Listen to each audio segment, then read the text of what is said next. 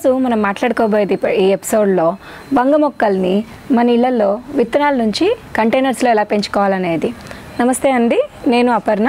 Welcome to Aparna's green garden channel. మరి ముందుగా వంకాయ మొక్క పెంచుకోవాలంటే ఇంకా బంగ మొక్కని ఫస్ట్ ఇనిషియల్గా చిన్న సైజ్ కంటైనర్స్లో పెంచుకొని తర్వాత నార అనేది పోసుకోవాలండి. అంటే మనం టమాటా మొక్కలకి పచ్చిమిరపకాయ మొక్కలకి చేసుకున్నాం కదా అట్లనే చేసుకోవాలి వీటికి కూడా. సో ఇక్కడ ముందు ఇనీషియల్గా చూసినట్టయితే ఈ కంటైనర్లో నేను ఆల్రెడీ మొక్కల్ని వేసుకున్నానండి గింజలు వేసుకున్నవి జర్మినేట్ అయ్యాయి. ఇవి ఆల్రెడీ చేసుకుని నాకు ఫిఫ్టీన్ డేస్ పైన అవుతుంది. అంటే రఫ్గా అరౌండ్ ఫిఫ్టీన్ ట్వంటీ డేస్ దాకా అవుతుంది మొక్కలు జర్మినేట్ అయ్యి. సో ఇప్పుడు నేను మీకు కంటైనర్లో సీడ్స్ అనేవి ఎలా సో చేసుకోవాలో చూపిస్తాను. గింజలు అనేవి మీకు లోకల్ నర్సరీలో కానీ లేకపోతే కనుక ఆన్లైన్ వెబ్సైట్స్ ఏదిలో చూసుకున్నా కూడా డిఫరెంట్ వెరైటీస్ ఆఫ్ వంకాయలు అనేవి దొరుకుతాయి మీకు. సో ఇప్పుడు మీకు ఇక్కడ చూసుకున్నట్టయితే ఇందులో నేను మట్టి కోకోపీటు వర్మి కంపోస్ట్ మూడు ఈక్వల్ క్వాంటిటీస్లో తీసుకుని వేసుకున్నానండి. ఇదే కాకుండా మీరు కోకోపీటును వర్మి కంపోస్ట్ని ఈక్వల్ క్వాంటిటీస్లో కూడా తీసుకొని సీడ్స్ అనేవి జర్మినేట్ చేసుకోవచ్చు. సో ఇప్పుడు నా దగ్గర ఇది బ్రింజాల్ లాంగ్ వెరైటీ ఉన్నాయి. సో నేను ఒక నాలుగైదు మొక్కలు మినిమం కావాలంటే ఒక పది సీడ్స్ దాకా వేసుకుంటే కనీసం ఒక నాలుగైదు మొక్కల దాకా అయినా జర్మినేట్ అవుతాయి. సో ఇది వేసుకుని బాగా మట్టితో మీరు దీన్ని పూర్తి చేయకండి. జస్ట్ సన్నగా ఫైన్ లేయర్లో వేసుకుంటే చాలు. వేసుకుని జస్ట్ జెంటల్గా ట్యాప్ చేయండి. సో దట్ మట్టికి అతుక్కుని ఉంటాయి ఇవి. సీడ్స్ జర్మినేషన్ బాగుంటుంది. ఇలా చేసుకుని తర్వాత వాటరింగ్ చేసేసుకోండి. చూడండి వాల్డీ ఆల్రెడీ జర్మినేట్ అయ్యి ఫిఫ్టీన్ డేస్ అయ్యాయి నాకు. Fifteen twenty days almost అయినట్టున్నాయి.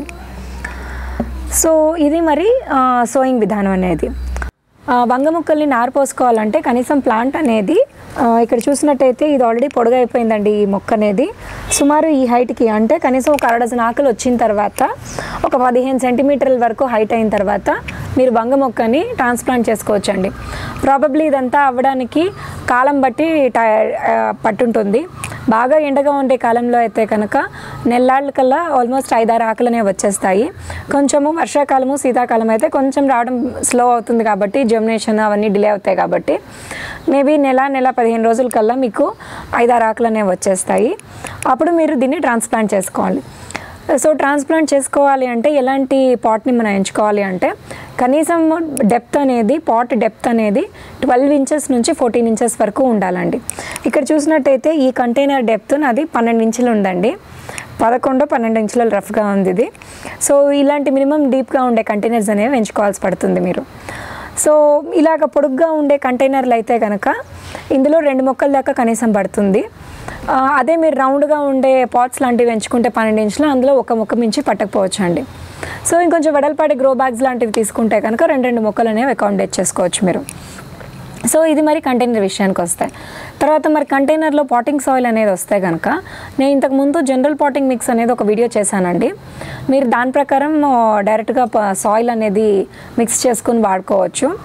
అకస్మాత్ అందులో మీకు ఇసుక అనేది దొరకపోతే కనుక ఇసుకని అవాయిడ్ చేసి మట్టి వొమ్మ పోస్ట్ కోకోపీట్ మూడు సంపాడల్లో తీసుకొని మీరు దాన్ని యూస్ చేసుకోవచ్చు.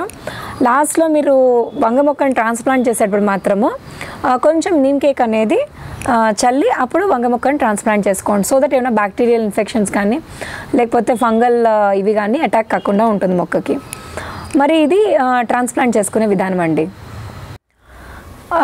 వంకాయలకి నీళ్ళు ఎలా పోసుకోవాలి అంటే కనుక వంగ మొక్కలకి నీళ్ళు పోసినప్పుడు వేళ్ళ దగ్గర తడి అనేది నిలిచిపోకూడదండి. కానీ భూమి మాత్రము తడిగా ఉండాలి. అందుకే అనుకున్నాం కదా ఇప్పుడు సాయిల్ అనేది వెల్ డ్రైన్డ్గా ఉండాలి పోరస్గా ఉండాలి ఏరీగా ఉండాలని. సో మరి మనం నీళ్ళు పోసినప్పుడు ఇక్కడ తేమ నిలిచిపోకుండా మాయిశ్చర్ అనేది రిటైన్ చేసుకునేలాగా మనం నీళ్ళు అనేది పోయాలండి. కానీ నీళ్ళు మాత్రము మధ్యలో స్కిప్ చేయడం అనేది జరగకూడదండి. రోజు కొంచెం కొంచెం నీళ్ళు అనేవి పోయాలి మనము. సో అప్పుడు వంకాయ అనేది చేదు రాకుండా పెరుగుతుందండి పెరిగినప్పుడు. మరి వంగ మొక్కలకి చూసినట్లయితే ఎండ అనేది ఎలా ఉండాలి? వంగ మొక్కలు చూసినట్టయితే ఆరు నుంచి ఎనిమిది గంటల వరకు మంచిగా ఎండ అనేది తగలా తగలాలండి. సో సమ్మర్ సీజన్లో ఇది బాగా మనం బయట బాగా ఎండ అయితే ఎక్కడైతే తగులుతుందో అలాగా ఆరు నుంచి ఎనిమిది గంటలు వచ్చే చోట అక్కడైనా పెట్టుకోవచ్చు. మీరు షేడెడ్ నెట్స్ కింద ఫిల్టర్డ్ సన్లైట్ వస్తుంది అలాంటి చోట పెట్టుకుంటా ఉన్నా ఇబ్బంది లేదు. అలాంటి చోట కూడా బాగా పెరుగుతుంది. ఇప్పుడు నెక్స్ట్ వర్షాకాలమును తర్వాత శీతాకాలము. ఎండ అనేది కొంచెం తీవ్రత తగ్గినా కూడా బట్ కంటిన్యూస్గా సన్లైట్ ఎక్కడ దొరుకుతుందో మీరు అలాంటి స్పాట్స్లో పెట్టుకున్నట్టయితే కనుక బాగా అనేది కాయలు కాస్తాయండి. అంటే పూలు వస్తాయి పూల నుంచి కాయలు అనేవి బాగా కాస్తాయి. సో ఇది మరి ఎండ విషయానికి వచ్చినట్టయితే. మరి ఇప్పుడు ఫర్టిలైజర్స్ ఆర్ మాన్యూర్ అనే విషయానికి వచ్చినట్లయితే వంగ మొక్కలకి బాగా ఫర్టిలైజర్స్ అనేవి వేయాలండి. అంటే ఫిఫ్టీన్ డేస్ నుంచి ట్వంటీ డేస్కి ఒకసారి కంపల్సరీగా ఫర్టిలైజర్స్ అనేవి వేసుకుంటూ రావాలి. అండ్ మోర్ ఓవర్ మనము కొంచెం అబ్జర్వ్ చేసుకొని అది ఏ దశలో ఉంది అనే దాన్ని బట్టి మనం ఇంకా ఫర్టిలైజర్స్ అనేవి వేసినట్టయితే మొక్కకి ఇంకా యూస్ఫుల్గా ఉంటుందండి. అంటే అది వెజిటేటివ్ గ్రోత్ పీరియడ్లో ఉన్నప్పుడు టెంటేటివ్గా వెజిటేటివ్ గ్రోత్ పీరియడ్ అనేది మనం ట్రాన్స్ప్లాంట్ చేసిన తర్వాత వన్ మంత్ ఇంకా అడిషనల్గా వెజిటేటివ్ గ్రోత్ పీరియడ్లోనే ఉంటుంది. సో ఆ పీరియడ్లో nitrogen potassium rich rich fertilisers వేసుకుంటే అంటే అధిక పాలల్లో ఉండే నైట్రోజన్ పొటాషియం ఫర్టిలైజర్స్ వేసుకొని వేస్తే కనుక ఆ టైంలో వెజిటేటివ్ గ్రోత్ అనేది ఓవరాల్ ప్లాంట్ డెవలప్మెంట్ అనేది బాగుంటుంది. తర్వాత పూలు పూయడం మొదలుపెట్టిన దగ్గర నుంచి కాయ ఫైనల్గా హార్వెస్ట్ చేసుకునేంత వరకు కూడా ఫాస్ఫరస్ అనేది బాగా కావాల్సి పడుతుంది ఆ స్టేజ్లో అనేది. సో ఇలా మనం దశని ఐడెంటిఫై చేసుకుని ఫర్టిలైజర్స్ వేస్తే బాగుంటుందన్నమాట. సో మరి ఎలాంటి ఫర్టిలైజర్స్ వాడచ్చు అంటే కనుక ఇక్కడ నా దగ్గర వర్మీ కంపోస్ట్ ఉంది కౌడంగ్ కేక్స్ ఉన్నాయి. ఇవే కాకుండా లిక్విడ్ సీవిడ్ సీవిడ్ ఫర్టిలైజర్స్ వస్తాయి. సీవిడ్ లిక్విడ్ ఫామ్లో దొరుకుతుంది దాన్ని వాడుకోవచ్చు. ఇదే కాకుండా దేంటి బ్లడ్ మీల్ అని బోల్ మీల్ అని చికెన్ మెన్యూర్ అని చెప్పి ఇవన్నీ మనకి నర్సరీలో కూడా దొరుకుతూ ఉంటాయి. ఇలాంటి వాటిని కూడా వాడుకోవచ్చు. ఇవేవి కాదు అంత కొంచెం కష్టమవుతుంది అనుకుంటే కనుక ఉట్టి వర్మి కంపోస్ట్ అయినా కూడా సింపుల్గా అట్లీస్ట్ వేసుకోగలిగితే మనము మొక్కకి కావాల్సిన పోషణ అనేది దొరుకుతుందండి. మరి ఇది ఫర్టిలైజర్స్ అనేవి. సో ఇవే కాకుండా మనం ఇంతకుముందు బనానా పీల్ ఫర్టిలైజర్ అని ఆనియన్ పీల్ ఫర్టిలైజర్ అని ఇవి కూడా కొన్ని మాట్లాడుకున్నాం కదా.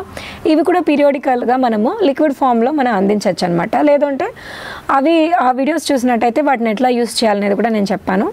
సో అలా కూడా మనం వీటికి ఫర్టిలైజర్ అనేది ఫ- అవి కూడా మనం ఫర్టిలైజర్స్గా వాడుకోవచ్చండి. మరి ఇప్పుడు నేను దీంట్లో మీకు వర్మి కంపోస్ట్ ఎలా వేసుకోవాలో లేదంటే కౌడంగ్ ఫర్టిలైజర్స్ ఎలా వేసుకోవాలో నేను చూపిస్తాను మీకు. ఈ వర్మి కంపోస్ట్ వేసుకునేటప్పుడు ముందుగా కొంచెం సాయిల్ని లైట్గా లూజ్ చేసేసుకోండి. ఎక్కువ తవ్వకండి ఎందుకంటే రూట్స్ ఆల్రెడీ కొంచెం ఉంటాయి కదా. సో వంగ మొక్కకి రూట్ సిస్టమ్ అనేది బాగా ఎక్స్టెన్సివ్గా ఉంటుంది. సో కొంచెం తవ్వేసుకుని దీంట్లో మీరు ఇక్కడ కనీసం గుప్పెడు రెండు గుప్పెడు దాకా వర్మి కంపోస్ట్ అనేది అవసరం పడుతుందండి. వంగ మొక్క మన పాట్ సైజ్ బట్టి మొక్క ఉండే స్టేజ్ బట్టి కావాల్సి పడుతుంది. వేసేసి జస్ట్ ఇలా భూమిని మళ్ళీ కొంచెం సర్దేసుకోండి. మరి ఇది వర్మి కంపోస్ట్ అప్లై చేసేది. అదే మనము ఆవు పిడకలను అప్లై చేస్తున్నాం అనుకోండి.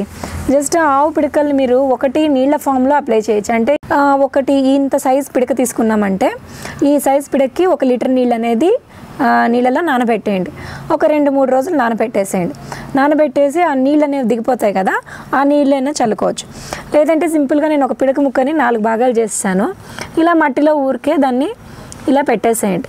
ఇది స్లోగా బ్రేక్ డౌన్ అయ్యి అవంతా న్యూట్రియంట్స్ అనేవి మైక్రోబ్స్ అనేవి మొత్తం మట్టిలో కలిసిపోతాయి. అదేంటి ఇక ప్లాంట్కి కావాల్సిండే ఎసెన్షియల్ న్యూట్రియంట్స్ అన్నీ కూడా అందుతాయండి. మరి ఇది ఫర్టిలైజింగ్ చేసుకునేది. ఇదే పాయింట్లో చెప్దాం అనుకుంటున్నాను మరి. మరి ఈ మొక్కకి నేను మల్చింగ్ ప్రస్తుతానికి నేను ఇవన్నీ చేయాలని మీకు ఇక్కడ ఆకలి తీస్తాను. బట్ మల్చింగ్ అనేది చేసుకున్నట్లయితే తేమ అనేది కంటిన్యూస్గా రీటైన్ అవుతూ ఉంటుందండి మొక్క సాయిల్లో చూసుకున్నట్టయితే మట్టి దీంట్లో తడి చెమ్మ అనేది రిటైన్ అవుతూ ఉంటుందన్నమాట. సో మల్చింగ్ చేసుకుంటే చాలా యూస్ఫుల్గా ఉంటుందండి. ఎందుకంటే సమ్మర్ సీజన్లో కంటిన్యూస్గా వాటర్ అనేది ఎవాపరేట్ అయిపోతూ ఉంటుంది కదా సాయిల్ లేయర్స్లోంచి సో అలాంటప్పుడు మల్చింగ్ అనేది చేసుకుంటే చాలా యూస్ఫుల్గా అనేది ఉంటుంది. అండ్ మోర్ ఓవర్ ఆ మల్చ్ అనేది కూడా డికంపోజ్ అయ్యి ఫర్టిలైజర్ కింద ఉపయోగపడుతుందండి మన ప్లాంట్కి కూడా. కొన్నిసార్లు మన మొక్కలు అనేవి వంగిపోతూ ఉంటాయి కదండి.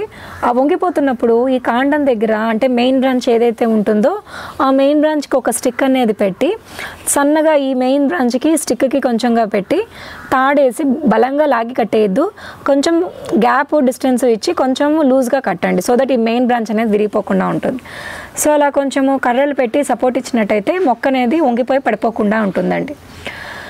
ఇది మరి స్టేకింగ్ విషయానికి వస్తే. నెక్స్ట్ సారీ అండి బయట సడన్గా వర్షం పడడం మొదలుపెట్టింది. అందుకే గార్డెన్లో ఉండే వాళ్ళము ఇలా ఇంట్లోకి వచ్చేసాం మేము. మరి ఇప్పుడు నెక్స్ట్ది పెస్ట్ మనకి వాటి వల్ల వచ్చే ప్రాబ్లమ్స్ ఏంటి? మనం వాటిని ఎట్లా కంట్రోల్ చేసుకోవచ్చు అనేది. మనం కామన్గా చూసినట్టయితే పెస్ అంటే ఇందులో యాపిడ్స్ మిలీ బగ్స్ తర్వాత ఇంకా మనకి చూసినట్టయితే ఈ ఫ్రూట్ బోరర్ స్టెమ్ బోరర్ అంటే కాండం తొలిచే పురుగు అదేంటి? ఫ్రూట్ తొలిచే పురుగు అని చెప్పి ఇలా అంటామన్నమాట సో ఇలాంటివన్నీ వస్తాయన్నమాట మెయిన్గా తర్వాత చీమలు ఇవన్నీ మెయిన్ కామన్ ప్రాబ్లమ్స్ అంటే ఈ స్టెమ్ బోరర్ ఫ్రూట్ బోరర్ అంటే మనకి పురుగులు కొన్ని మనం వంకాయ కట్ చేసినప్పుడు లోపల పురుగులు కనిపిస్తూ ఉంటాయి కదా. ఆ పురుగులు అనేవి సన్నగా తొలుచుకుంటూ వెళ్ళిపోతాయి అన్నమాట ఇవి కూడా ఒక రకమైన జాతి పురుగులే. అవి ముందు ఇనిషియల్గా గుడ్లు పెడుతుంది ఆకుల మీద. ఆ గుడ్లు అనేవి ఈ లార్వా స్టేజ్కి వెళ్ళిన తర్వాత అవి లోపలికి వెళ్ళిపోయి తినేస్తాయి. తినేసి తర్వాత బయటకు వచ్చిన తర్వాత అవి ఆ స్టేజ్ దాటి బయటకు వచ్చిన తర్వాత మళ్ళీ అడల్ట్ కింద మారుతుంది. మళ్ళీ ఇది ఒక సైకిల్ ప్రాసెస్ లాగా వెళ్తుంది. సో మరి దీన్ని ఎట్లా కంట్రోల్ చేసుకోవచ్చు అంటే కనుక neem oil soap solution water ఇవన్నీ కలుపుకొని స్ప్రే చేసుకున్నట్టయితే నీమ్ ఆయిల్ రఫ్గా త్రీ ఎంఎల్ ఫోర్ ఎంఎల్ వాళ్ళు ప్యాకేజ్ మీద ఇన్స్ట్రక్షన్స్ ఇస్తారు. వన్ లీటర్ వాటర్కి ఇంత అనేది. సో ఆ ఇన్స్ట్రక్షన్స్ని ఫాలో అవ్వండి. సో రఫ్గా త్రీ టు ఫోర్ ఎంఎల్ చెప్తారు వారు వన్ లీటర్కి ఆ వన్ లీటర్కి అది యాడ్ చేసుకుని కొన్ని కొంత ఒక చిన్న three four ML of soap solution add చేసుకుని స్ప్రే చేసినట్లయితే మొక్కల మీద. ఇనీషియల్ స్టేజెస్ నుంచి స్ప్రే చేసినట్లయితే ఇవేవి ప్రాబ్లమ్స్ రాకుండా ఉంటాయి. ప్రాబ్లమ్స్ వచ్చినా కూడా సేమ్ ఇదే ఇదండి. రీ నీమ్ ఆయిల్ని రిపీట్ చేయండి. కంటిన్యూస్గా ప్రాబ్లం పోయేంత వరకు వాడుతూ ఉండండి. అంటే వారంలో టూ డే టూ టైమ్స్ వాడుతూ ఉన్నట్లయితే ఈ ప్రాబ్లమ్స్ అన్నీ సబ్సైడ్ అవుతాయండి. సో మరి ఇది ఒకటి. తర్వాత రెండవది పువ్వు అనేది డ్రాప్ అయిపోతూ ఉంటుంది. మరి ఈ పువ్వు అనేది ఎందుకు డ్రాప్ అయిపోతుంది అంటే ఒకటి పెస్ట్ మూలంగా డ్రాప్ అవుతుంది. లేదంటే హ్యూమిడిటీ ఎక్కువైపోయినా లేదంటే టెంపరేచర్ వేరియేషన్స్ ఉన్నా కూడా um, డ్రాప్ అయిపోతూ ఉంటుంది. మూడోది పాలినేట్ అవ్వకపోయినట్లయితే పువ్వు అనేది అప్పుడు కూడా డ్రాప్ అయిపోతుంది. పెస్ట్ అంటే మనం ఆల్రెడీ సొల్యూషన్ మాట్లాడుకున్నాము. హ్యూమిడిటీ టెంపరేచర్ వేరియేషన్స్ అన్నప్పుడు మరి ఇవి న్యాచురల్గా వాతావరణంలో వచ్చే చేంజెస్ కాబట్టి ప్రాబబ్లీ మనం పెట్టిన ప్లేస్లోంచి కొంచెం అటు ఇటు మూవ్ చేసి లీవ్స్ మీద వాటర్ స్ప్రే చేసి కొంచెం అలా చేసినట్లయితే కనుక అది కొంత సబ్సైడ్ అవుతుంది ఆ ప్రాబ్లం అనేది. నెక్స్ట్ పాలినేషన్ కావట్లేదు అన్నప్పుడు ఇక్కడ చూస్తే పూలోనే మేలు ఫీమేల్ రెండు ఉంటాయన్నమాట. మన గార్డెన్లోకి బీజ్ అనేవి వచ్చినప్పుడు అది మేల్ ఫీమేల్ కలిసి ఫ్రూట్ అనేది ఫార్మేషన్ జరుగుతుంది. మరి ఇక్కడ ఒకవేళ అది పాలినేట్ కావట్లేదు అంటే కనుక బీస్ రావట్లేదు ఏం లేదంటే ఇంతకుముందు ఆల్రెడీ ఇప్పుడు నేను గార్డెన్లోకి వెళ్ళలేకపోతున్నాను కాబట్టి ఇంతకుముందు ఒక chillies how to grow chillies అనే ఒక వీడియో చేశాము. ఆ వీడియోలో మీరు చూసినట్లయితే కనుక మనం హ్యాండ్ పాలినేషన్ ఎలా చేసుకోవాలని నేను చూపించాను. జస్ట్ ఏం లేదు పువ్వు పైన జనరల్గా ట్యాప్ చేయండి. అంటే బీజ్ వచ్చి కూర్చున్న అలా ప్రెషర్ని మనము మనం చూపిస్తున్నాము. ఆ ప్రెషర్ ఇది అనేది మనం క్రియేట్ చేస్తున్నాం అక్కడ సెనేరియో అనేది. సో ఆ దీనికి అవి మేల్ ఫీమేల్ కలిసి uh, ఫ్రూట్ ఫార్మేషన్ అనేది జరుగుతుందండి. సో పాలినేట్ అవుతుంది కాబట్టి పువ్వు పడిపోవడం అనేది తగ్గిపోతుంది అనమాట కానీ కొన్నిసార్లు ఇనీషియల్ స్టేజెస్లో రాలిపోతూ ఉంటే కనుక ఫర్టిలైజర్స్ మీరు కరెక్ట్గా వేస్తున్నారా లేదా కూడా చెక్ చేసుకోండి. మీరు ఫర్టిలైజింగ్ అవన్నీ కరెక్ట్గా వేసి వాటర్ అంతా ఫ్రీక్వెంట్గా పోస్తున్నా కూడా జరుగుతుందంటే ఈ మూడు కారణాల్లో ఏదైనా అయి ఉండొచ్చు అనమాట సో ఇదండి మరి ప్రాబ్లమ్స్ అనేవి. కామన్గా మనం చూసే ప్రాబ్లమ్స్ అనేవి. మరి బ్రింజాల్ మనకి ఎప్పుడు హార్వెస్ట్ చేయాలి అనేది ఎలా తెలుస్తుంది అంటే మన బ్రింజాల్స్ ఒక ఒక మీడియం సైజ్కి వచ్చిన తర్వాత మంచి గ్లాసీగా కనిపిస్తున్నప్పుడు అంటే మంచి మెరుస్తూ ఉంటుంది కదా మెరవడం అంటాం కదా అట్లా మంచి గ్లాసీగా మెరుస్తూ ఉన్నప్పుడు లేతగా ఉన్నప్పుడు కాయని మనము హార్వెస్ట్ చేసుకోవాలండి. ఒకవేళ మనము లో చాలా ఎక్కువసేపు వెయిట్ చేసినట్టయితే లోపల గింజలు అనేవి ముదిరిపోతూ ఉంటాయి. మనకి ఆ, లోపల గింజ సీడ్ ఫార్మేషన్ వైపు వెళ్ళిపోయి ప్లాంట్ అనేది ఆ స్టేజెస్లోకి వెళ్ళిపోతుంది కాబట్టి మనకి ఎక్కువ బ్రింజాల్స్ అనేవి ప్రొడ్యూస్ కావు. సో అలా కాకుండా ఇనీషియల్గా టెండర్ స్టేజెస్లో ఉన్నప్పుడే ఒక సైజ్ మీడియం సైజ్కి వచ్చిన తర్వాత హార్వెస్ట్ చేసేసుకోండి. సో ఆల్మోస్ట్ అన్ని పాయింట్స్ నేను ప్రాక్టికల్గా నేను నేను మొక్కను పెంచుతున్నప్పుడు ఏమేమి ఎక్స్పీరియన్స్ చేశానో అవన్నీ మీతో షేర్ చేసుకున్నాను. సో మీ ఇంట్లో కూడా వంగ మొక్కల్ని పెంచుకోండి.